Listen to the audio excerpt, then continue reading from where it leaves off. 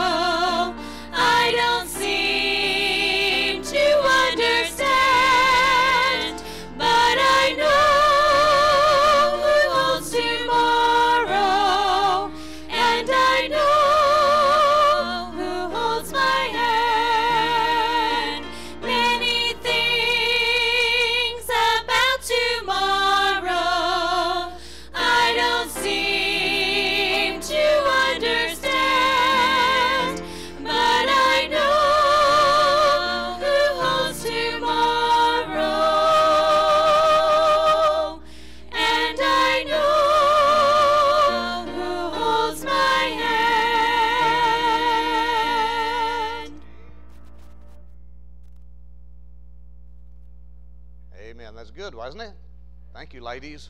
What a blessing. Whatever circumstances may be going on around us, if we know Jesus and we're in His hand, it'll be all right. It'll be all right in the end. It's going to be okay. If you got a storm going on in your life right now, put your faith, your trust in Him, and it's going to be all right. Open your Bibles, please, to Colossians chapter number 3.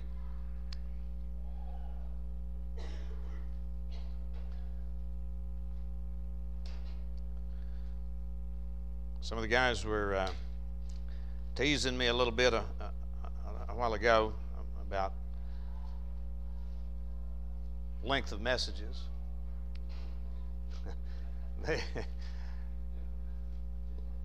Some sermons are longer than others. You know, some preachers preach a long time, others preach real short, some are in between.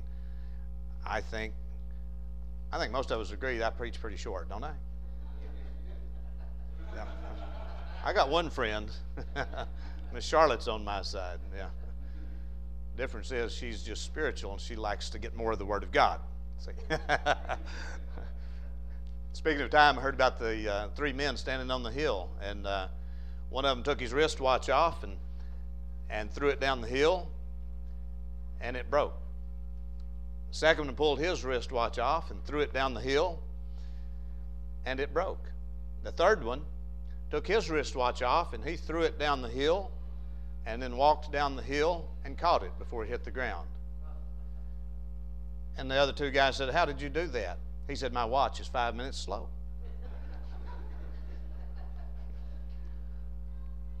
Our clock is five minutes slow. So we'll get it all in today, all right?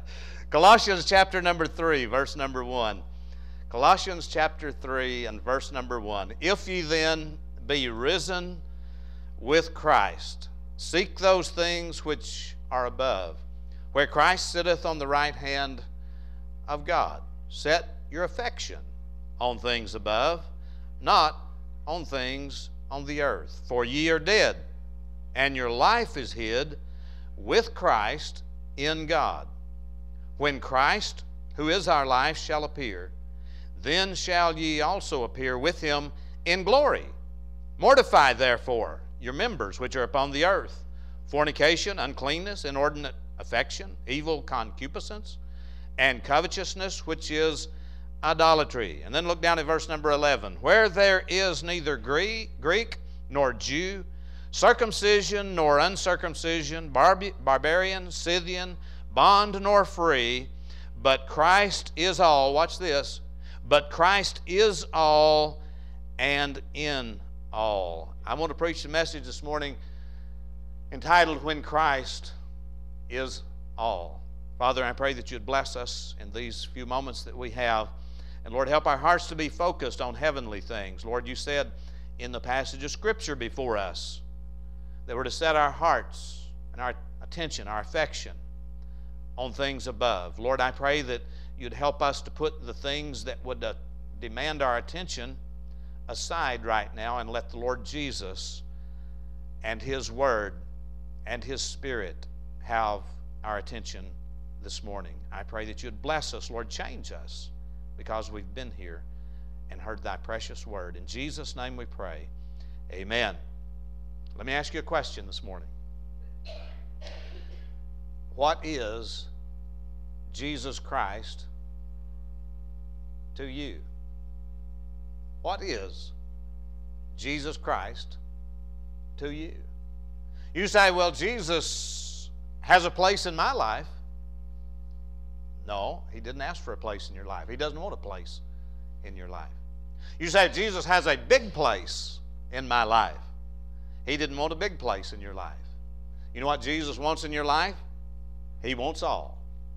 He wants to have the preeminence in your life. He wants everything.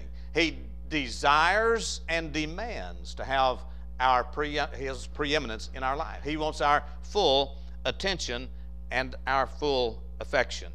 Now, in the passage of Scripture we read, I think when we come to verse number 11, when it says, But Christ is all and in all, I think that leaves nothing out. What do you think? He says Christ is all. In other words, to the Christian, Jesus is everything. He's everything. We don't have a secular part of our life and a sacred part of our life. Jesus is everything. Now, that's a big question. What is Jesus to you? Is Christ all for you, or do you just fit him in somewhere? Now, in Philippians chapter 1 and verse number 21, the Bible says, For me to live is Christ. Hey, did you hear that? The Apostle Paul said, For me to live is Christ. His life was consumed by Christ. Uh, Jesus is our life as a Christian. He doesn't want just part and, uh, and, and a point here and there. He wants all of our life. Uh, John 14, 6, Jesus said, I am the way, the truth, and the, life. He didn't say, I am a way. There's not a Muslim way and a Hindu way and a, and a, a Buddhist way. There's one way to Jesus Christ, contrary to what the news media may try to tell you. Don't, isn't it strange how they try to be theologians? I, I sometimes watch uh, Bill O'Reilly on Fox News, and Bill says some things that are pretty good, and then sometimes he tries to be a theologian. And when he tries to become a theologian, he just goes way off out yonder and flying around in outer space and hasn't got a clue. And uh, the, people want to tell us, movie stars, Hollywood actors, and singers want to tell us how we ought to believe theologically. And uh, it's not their business, that's God's business. And Paul said, For me to live is Christ. Jesus said, I am the way. No man cometh unto the Father but my, by me. He said, I am the truth. There is no truth outside of Christ. Anything that contradicts the Word of God is untruth. I can guarantee you that. It's only the Word of God. Jesus wants to be all in all. And uh, he, in this passage that we just read, he puts it this way. First of all, in verse number three, he tells us that we've been crucified with Christ. We've been put to death. If you're saved today, you have been put to death. You've been crucified with Christ. You died the day you got saved. When I got into the baptistry and when I got buried in that watery tomb, that was a funeral service showing that the old Rick Brooks died and a new Rick Brooks has been resurrected. It was a funeral service, and I had one person there mourning uh, my death that day. You know who it was? It was the dirty devil. He hated to see his good friend die. I became a new creature in Christ, and uh, I've been crucified. And if you're if you're a saved person today, you've been crucified too. You died that day. Then he tells us a second thing that we've been raised with Christ. In verse number uh, one, it says, "If ye then be what's the next word? Risen with Christ." So we're dead with Him and we are risen with him. And then he tells us a third thing in this passage that we live with him. Look at it again in verse number three. For ye are dead, now watch this, and your life is hid with Christ in God. Don't you like that? I do. I like that. That tells me not only have I died with Christ, I have been resurrected with Christ, but I have my life in Him, and it's all wrapped up in Jesus Christ. And the Bible says that I'm in Christ and in God. And so that means when you're saved, friend, the good thing about this is for the devil to get to you after you're saved, he's got to go through Christ, through God the Father to get to you. I don't know about you, but I got more faith in God the Father and God the Son than I do by, in the devil and his power. And then the Bible says in Ephesians that we are sealed by the Holy Spirit. So we're pretty safe there, don't you think? Now, go back to chapter 2 in your Bible, if you would. Chapter 2, and look at verse number 3. Here's a wonderful verse. I hope God will write this verse upon your heart. Watch this, what it says about the Christian. It says of, of, of Christ, in whom are hid, in who? Christ, in whom are hid all the treasures of wisdom and knowledge. What does that mean? That means that there is nothing, listen to me, there is nothing outside of Christ that's worth anything. There is no knowledge outside of Christ that's worth knowing. There is no action, no life outside of Jesus. What I'm trying to say is, as a Christian, we are to be all consumed with Jesus Christ. He's to be our all in all. Now, in chapter 3 and verse number 1 it says if you then be risen with christ i want you, I want you to see three verbs in our passage of scripture three verbs and then we're going to make a, a, three points out of this to center on this morning number one we find it in verse 1 if you then be risen with christ look at this first verb seek those things which are above number two the second verb is in verse number 2 set that's the verb underline it Set your affection on things above. And then, third, we find it in verse number five Mortify, therefore. The word mortify is the third verb I want you to notice. And if you mark in your Bible, you can underline that one. So, there, if you want to uh, alliterate those three points, you could say seek, set, and slay. Set your affections, Seek those things which are above, and then slay those unholy lusts. Now, these three things I want to set out for you this morning from this passage of Scripture, and I hope it'll be a blessing to you. I really believe that this can change the life. If you're one of those Christians that has not found joy in the Christian life yet, and all it is is just a hardship to try to live for the Lord, this can change your life. Notice number one Jesus, if I'm a, if I'm a, if I'm a believer who Christ is my all in all, all three of these points will apply to this phrase. If Christ is my all, if He's everything to me, then number one, Jesus captivates my ambition. Jesus captivates my ambition. Look at verse 1 again. If you be then if you then be risen with Christ, seek those things which are above, where Christ sitteth on the right hand of God. Now let me ask you a question. Where where is your ambition? Where's your ambition? If your ambition is like it says in Matthew 6:33, seek ye first the kingdom of God and his righteousness and all these things shall be added unto you. Is that your first ambition to seek Christ first? Oh, listen, I don't know, I don't know at the heartaches that I've seen over my years of being a pastor, and associate pastor. I was associate pastor for, for about 15 years. Now I've been a pastor for 15 years. And I don't know at the untold heartaches I've seen when people set out to make a decision and they put their emotions ahead of the Word of God and the will of God. You hear what I'm saying? I have seen more hearts broken. I've seen more families broken.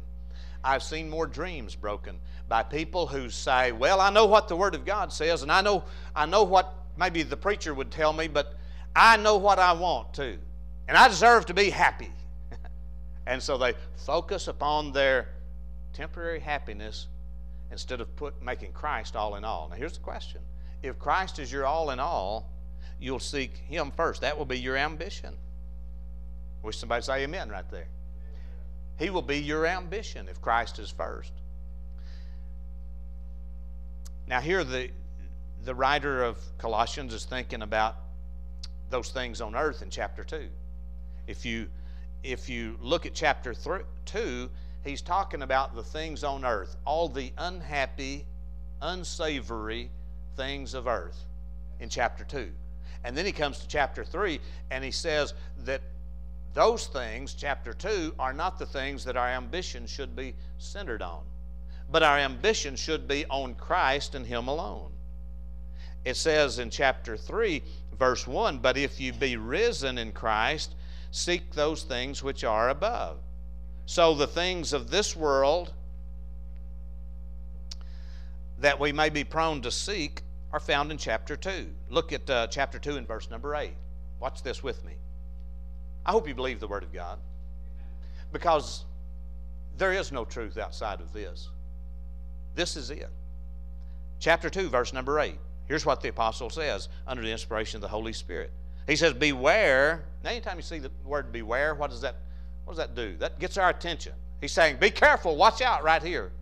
Beware lest any man spoil you through philosophy and vain deceit. Well, a lot of that going on in the world today, isn't there? Lots of philosophy, lots of vain deceit. And then he says, after the tradition of men, after the rudiments of the world, the word rudiment means the basics, the ABCs, or the basic elements. And then he says, and not after Christ. Did you see that? He said, when they, when they point you to philosophy and not after Christ, that's when you got to beware. That's where we go astray.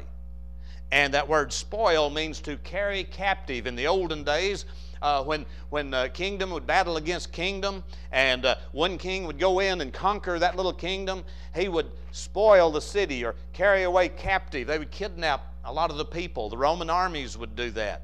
And they would lead their captives out of the city and and enslave them. And uh, so the reasonings of the world is one of those things that, uh, that will, will, will cause us to have our affections off of Christ. Number two, the rituals of the world. Not only the reasonings, but the rituals. Verse in chapter 2, we're still there. Chapter 13, uh, I'm sorry, chapter 2, verse 13. And you, being dead in your sins and the circum, uncircumcision of your flesh, hath he quickened. That means made alive. Together with him, having forgiven you all trespasses, blotting out the handwriting of ordinances that was against us, which was contrary to us, and took it out of the way, nailing it to his cross. And having spoiled principalities and powers, he made a show of them openly, triumphing over them in it. That's talking about Jesus' death on the cross. When he died on the cross, he did away with the traditions, he did away with the, uh, with the rituals. All those Jewish rituals that they had, they had to go through rituals. and, uh, and those rituals were only shadows. And people many times are living in the shadows of reality. And it's the reality that we ought to seek. Now, verse 16, it says, Let no man therefore judge you in meat, that means any kind of food, or in drink, or in respect of a holy day, or of a new moon, or in the Sabbath days, or uh, then it says, which are a shadow of things to come, but the body is of Christ. So he's talking about all of those rituals. Christianity and living for Christ is far more than rituals. Now, next Sunday night, we'll observe the Lord's Supper. There's two ordinances in the, in the church, we believe, according to the Scriptures, and that's baptism for the believer and then observing the Lord's Supper. Those are the two. And they are ceremonies. But some churches have ceremony after ceremony after ceremony, and they go through all of these rituals, counting beads and, and saying uh, uh, uh, rote memorizations and so forth and uh, kneel, kneel, stand and pray, kneel, stand and pray, and going back and forth, doing all of these rituals, going through all of the different ceremonies, time after time after time, and they believe that that earns them favor with God. Can I just tell you that for those who may not be saved, rituals will not get you any closer to God. There is one thing. The Bible says, with the heart man believeth unto righteousness. Salvation is a simple act of believing in the heart. When we turn our back on the way we have lived and turn to Christ by faith, that's salvation in our heart when we receive Him and accept Him. It has nothing to do with rituals and ceremonies. Getting in that baptistry will not save anybody. It's only a symbol, it's a ceremony of being born again. The moment we believe in our heart, we're saved. Then getting into the baptistry, it is a step of obedience, but it has nothing to do with getting us saved. It has to do with showing that we are saved. And let me take it a step further. Listen to this. Are you with me? Is it too warm in here? Is anybody going to sleep yet? All of you that are asleep, raise your hand. Okay, just one. Uh, I guess we're okay on the temperature. The uh, not only do rituals not save people, Rituals do not necessarily bring you any closer to Christ as a Christian either. Did you hear that? These Jews were trying to reach back and pull in some of their old ceremonies to make them feel religious. And that brings us to number three. The things of the world, not only those things that we've just mentioned, but the religions of the world. Verses 18 and 19 in chapter 2. He says, Let no man beguile you of your reward in voluntary humility and worshiping of angels. Let no man beguile you of re- reward in voluntary humility and worshiping of angels, intruding into those things which he hath not seen, vainly puffed up by his fleshly mind, and not holding the head which, from which all the body by joints and bands, having nourishment ministered, knit together, increase, in, increaseth with the increase of God. Now, what's he saying here? He's saying, don't go running after some, some supposed angel. Lots of books being written on angels today. And there's some people who, who read and read and read and talk about angels. There's websites on the internet given to the study of angels. Now, angels, angelology is, is a subject in the Bible, but Christ is all in all. There's nothing an angel can do for you that Christ cannot do better. Angels are just his servants and people become absorbed with angels instead of Christ. And so he's saying about those things. Then, number four, the things of the world. And the fourth place are the regulations of the world. Look at verse number 20 in chapter 2. He says, Wherefore, if ye be dead with Christ from the rudiments of the world, why, as though living in the world, ye are subject to ordinances? That means laws, uh, rules. Touch not, taste not, handle not, which all are to perish with the using after the commandments and the doctrines of men. Now he's he's not saying here that you ought not to that you ought not to in, that you ought not to refrain from indulging in the things that God has commanded us not to tamper with. That's not what he's saying. But what he is saying that keeping of rules and regulations and having a list of don'ts is not necessarily going to make you Christ-like. So what are we talking about today? Let me, let, me, let me regain our focus once again. We're talking about making Christ our all in all, having happiness and joy and fulfillment in our Christian life, pleasing God by making Him everything in our life. So if Christ is supposed to be first in our life, we can't substitute rule keeping for loving God. Are you with me? Does that mean we ought to be rule breakers? That's not what we're saying. Let me give you an illustration. I knew, I knew a lady uh, years ago that after she was saved, she started going to a, a Baptist church that, that was a, is a good church. And she began, she heard some preaching on modesty. Probably ought to be a little more of that today. The, as my old pastor, Brother Jim Vineyard, used to say about this time of year, he'd say, Well, okay, it's time to preach on modesty. We're heading into the burlesque season. where everybody strips down and starts going naked. You know, it's easy to be modest in the wintertime, but then when it, hot weather comes, everybody starts stripping down. And uh, so this lady that I'm talking about, she heard some preaching on modesty. And so she changed the way she dressed and, uh, and she began to dress in a more modest fashion. But to her, it was like drudgery keeping this rule because that was what was expected in that church. Then, after she left that church and went to another church, she went straight back to the old way that she used to dress. So, what are we talking about? Keeping rules didn't change anything for her.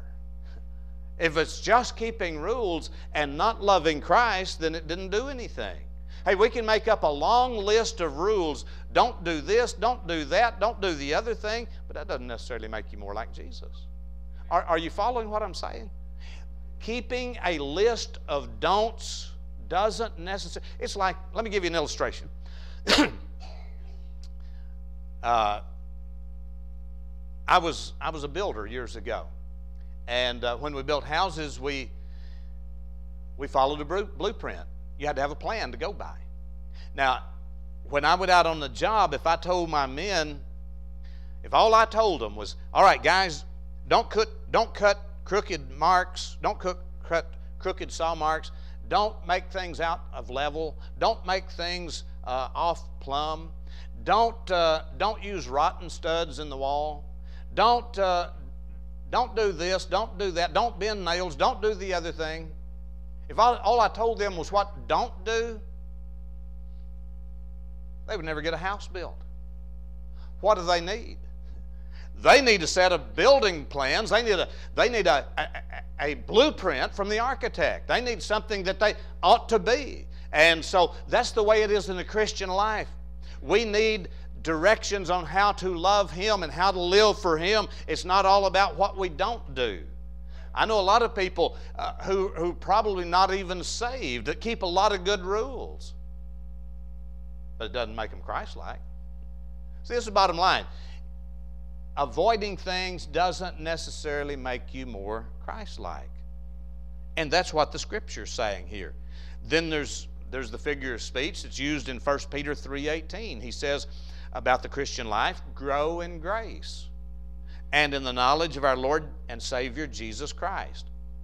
Can you imagine somebody, uh, maybe one of our older ladies that's raised a family going by a young lady, a young mother's home. They've just had a they just had a new baby, and and uh, and the young mother says, "Well, uh, can you tell me something about raising children?" And the older lady says, Well, don't give them, don't let them drink bleach, don't let them drink poison, don't let them drink medication, don't, uh, don't let them play in the street. You tell them everything they don't do. Wait a minute. They need to know what to do, don't they? Uh, need to learn how to love that baby and uh, feed that baby some gravy and biscuits and ham and eggs and stuff. yeah, that'll make them grow, right? Bacon. I, I saw a little poster the other day that had a picture of a dog and a, a little puppy dog and a little pig side by side. And the heading, the caption said, this was probably from PETA. They said, Why eat one and treat the other like a pet? And this guy answered underneath of it and he said, Because one of them is filled with delicious bacon and the other is not.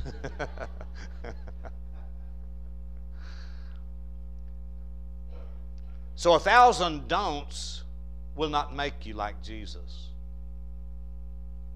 To love him means to surrender to him. You know, it's why you do what you do and not necessarily doing the act itself. Like bumper sticker uh, that you've seen, you've probably seen this bumper sticker before. It says, uh, uh, "Tithe if you love Jesus. Any fool can honk their horn." it's the why behind. If you love Him, but you know if if you don't love Him and you tithe, you know that's probably not making you any more like Jesus. We have to love Him. Now, what we ought to do is seek Him. Seek Him. The Christian life is about seeking Him. Like the needle on a compass seeks the North Pole, Jesus ought to be the North Pole on the compass of every Christian. Like the sunflower faces the sun that's the way we ought to be. Did you ever uh, did, did you know that when sunflowers are young, when the flower first buds out, that flower will turn towards the east in the morning and follow the sun across the sky until it goes down in the west. And in the nighttime, the flower swings back around to the east. Now, after they get more mature, the flower head gets big. It doesn't do that, it just remains facing the east after they're grown. But that little bud follows the sun across the sky. That's the way the Christian ought to be toward Jesus. We're after Him, seeking Him. Let me give you the next big point. Jesus dominates my attention and affection. Not only does He captivate my ambition, but He dominates my affection and my attention. Now, if our affection is set on Jesus, it will make a difference in the way we live and the way we feel. Proverbs 23, verse 7, it says, As a man thinketh, uh, as a man thinketh in his heart, so is he. As he thinketh in his heart, so is he. What's that saying? Whatever we think about, are you with me? Whatever we think about captures our affection. When a young man becomes infatuated with a young lady, man, his affection is centered on her all the time. The young man or a young lady that's infatuated with each other, man, all they do is gaze into each other's eyes. They get they get thinking they want to get married, and they don't they don't realize you know you might need a job. We just live on love. yeah, don't think about maybe have to have a house to live in. Don't think about you know uh, what we're going to do with these kids when they're born. They, they just gaze into each other's eyes, and that makes everything all right. Well, our attention, if we gaze upon Jesus, He will meet our needs, and that's He needs to be the one that dominates our attention. Now, I'm not saying that everything that we do has to be church related, no recreation. That's not what we're saying. We're saying that Jesus deserves to be in our thoughts in our affections in everything that we do, though the things that we do, if we love Him, it will have a huge effect on where we go, what we see, what we listen to, the friends we have, the, the work we do, and how we do it. If our affection is on Him, it will change us. Number three, almost done. That was fast for number two, wasn't it? Hold the applause. Number three, Jesus regulates my actions. He regulates my actions. Notice in chapter 3 and verse number 5. Now, we didn't read these a little while ago. Watch it with me. Chapter 3, verse 5. Mortify, therefore, your members which are upon the earth fornication, uncleanness, inordinate affection, evil concupiscence, and covetousness, which is idolatry, for which things for which things sake the wrath of God cometh on the children of disobedience, in the which ye also walked sometime when ye lived in them. But now ye also put off all these. Watch this. Here's the things we put off as a Christian. Put off all these anger, wrath, malice, blasphemy, filthy communication out of your mouth. Lie not one to another, seeing that ye have put off the old man with his deeds, and have put on the new man which is renewed in knowledge after the image of him that created him where there is neither Greek nor Jew, circumcision nor uncircumcision, barbarian, Scythian, bond nor free, but Christ is all in all. Now, that word mortify means to put to death. Here's what we're talking about. I've already said in the, in, the, in the earlier verses that will worship, rule keeping, does not necessarily make us more Christ like. Remember that? Just, just saying, I don't, I don't dip nor chew nor run with those who do. You know? One, one preacher said, I don't dip nor chew nor run with women who do. I've seen, I've seen some women that dip and chew. When I was growing up, I saw some ladies that dipped rooster snuff, man. You don't remember the little glass jar? Some of you older folks will remember it. Uh, they'd dip out a little dip of that snuff and put it in their cheek, and they'd have tobacco juice running down both corners of their mouth. Uh, somehow it just didn't uh, do a lot to turn me on. You know what I mean? but abstaining from things doesn't necessarily make us more like Christ. I said that. The scripture says that. But here he gives us the attention to mortifying or putting to death those things that are detrimental. Why does he do that? if keeping rules doesn't necessarily make us more like Jesus, then why does he tell us some things that we ought to put off when we're in Christ? It's for this reason. Because the things that we do, the things we embrace, have a huge effect on how close or distant we'll be from the Lord Jesus. Are you with me? In other words, if I'm doing things that are wrong and are detrimental to me, spiritually, then I'm going to have a harder time being close to Christ. There are some things that God hates. You knew that, didn't you? There are some things that God hates. And uh, if, you were to turn to Proverbs chapter 6 and verse number 16, you'd read this. It says, These six things doth the Lord hate. Yea, seven are an abomination unto him a proud look, a lying tongue, hands that shed innocent blood. Uh, I believe that has directly to do with abortion. Anybody that can't find abortion in the Bible hasn't read it very closely. And heart that deviseth wicked imaginations, feet that be swift in running to mischief, and a false witness, uh, a false witness that speaketh lies, and he that soweth discord among the brethren. The Bible says God hates those things. Some people say that God loves, just, God's just love. Well, God is love, but there's some things He hates. And here's a list of them. If you went to Psalm 119, 104, the Bible says there, Through thy precepts I get understanding, therefore I hate every false way. The psalmist said, Because I read the scriptures and I find out what God hates, then I hate those things too. There's some things that God hates. God hates sin, God hates evil things. It doesn't mean that, that we ought to hate people, we ought to try to get people saved. Uh, sin is hateful. And if I want to be close to Christ, I have to be careful what I associate myself with. When I graduated from high school, this is in the dinosaur days. this is this is when dinosaurs roamed the earth. I graduated in high school in 1969. Sound like another millennia. Well, was another millennia. a thousand years ago.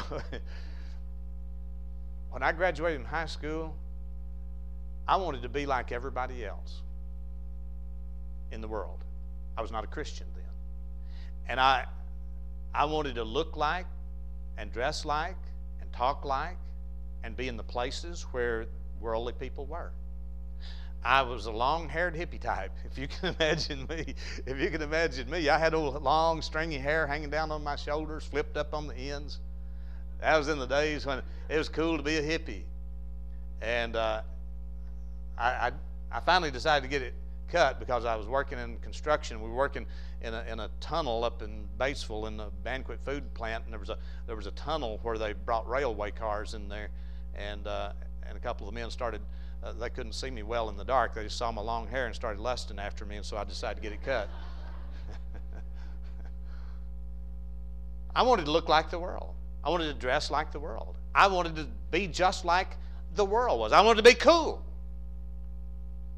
And then I finally got saved. As we develop an affection for the things of the world, and listen, here's, here's where we're going. I said rule keeping does not make you more like Jesus. Remember that? But that doesn't mean that we swing the pendulum all the way to the other side and say, then it doesn't matter what I do. I can just love Jesus and be just like the sinful world. That's not that's not logical either. Neither is it scriptural. When we swing our affections to the world, that takes away from the love that we have for Jesus. Let me read you a verse. 1 John 2:15 says, "Love not the world." Now, when it says love not the world, it's not talking about the trees and the mountains and the rivers, right? When he's talking about loving not the world, he's talking about loving the world system. The sinful who is the prince of the power of the air? Who is the king of this world right now? It's not Jesus. It's the devil. The devil has dominion in the earth right now. That's scriptural. The king will come back one of these days and set up his kingdom. Jesus will come back, but right now the world system is run by the devil. Do you wonder why politics and the world situation is the way it is? It's because the devil's in charge of most of it. Hello. I don't care which party you belong to. There ain't none of us can brag too much. Hello? It's a pretty sorry system, the world system. The world is generally a fallen, sinful world. And what people do. Has anybody noticed uh, the degradation in television? I mean, they, each year they say more and more vulgar words. Each year there's more and more nudity. Each year there's more and more disrespect of small children towards their parents. Well, that's because this world system is degraded because it's fallen in sin. And here's what I'm getting at. If we let the world dictate to us what we ought to love instead of Christ, then it takes away from the world uh, uh, for the love that we have for Jesus. Let me read that verse again. Love not the world, neither the things that are in the world. Listen to this carefully. Listen to this right here. If any man love the world, the love of the Father is not in him. The more I love the things of the world, the more I fall in love with the nudity and the, the sarcasm and the disrespect and the, uh, the spirit of anarchy the more I fall in love with the vulgarity of this world and, and the styles that take me away from the Lord, the more I fall in love with that, the less love I have for the Lord Jesus. That's what the scripture says. Let me give you one other verse. You'll remember this one. Jesus said this No man can serve two masters, for either he will hate the one and love or, or else hold to the uh, one and despise the other. You can't have two masters. Either it's got to be the world or it's got to be Jesus. What does Jesus want? He wants to be our all in all. Jesus wants to have everything. He doesn't want his, his attention and affection divided so that we love the world on, on Monday and we love the Lord on Sunday. He wants us to love Him equally every day of the week. And when we love the things of the world, if we dress and act like the world, parents, if you la- allow your children to develop an, an appetite for the world, the time will come when they will love the world more than they love God. And they'll drop out of church 65 to 85% of our young people graduate from high school, walk out the church house doors, and never come back. And that's a fact. I appreciate these guys sitting right here. They graduated from high school last night and they're in church this morning on their own. Nobody made them come. They came because they love the Lord. And I appreciate that. And what I'm saying is, when we develop an appetite for the world, we will love Jesus less. And our affection and associations definitely affect what we think about the Lord. Paul said, evil communications, and the word communication is not talking about just what we say, evil communications corrupt good manners. Communications is talking about the interaction with people in the world. The more unchristian interaction we have, the more we become corrupted. So, what is the Christian life? It's not just coming to church and being spiritual on Sunday. What is the Christian life? It's letting Christ be our all in all. And tomorrow morning, when I get out of bed and I speak to my wife, I'll be letting Christ live in me just like I did on Sunday. Hello? When you go to the job and the rest of the world on the job, maybe you work in a place where there's not a lot of Christians, and they curse and tell their dirty stories and tell about the filthy movies they've watched.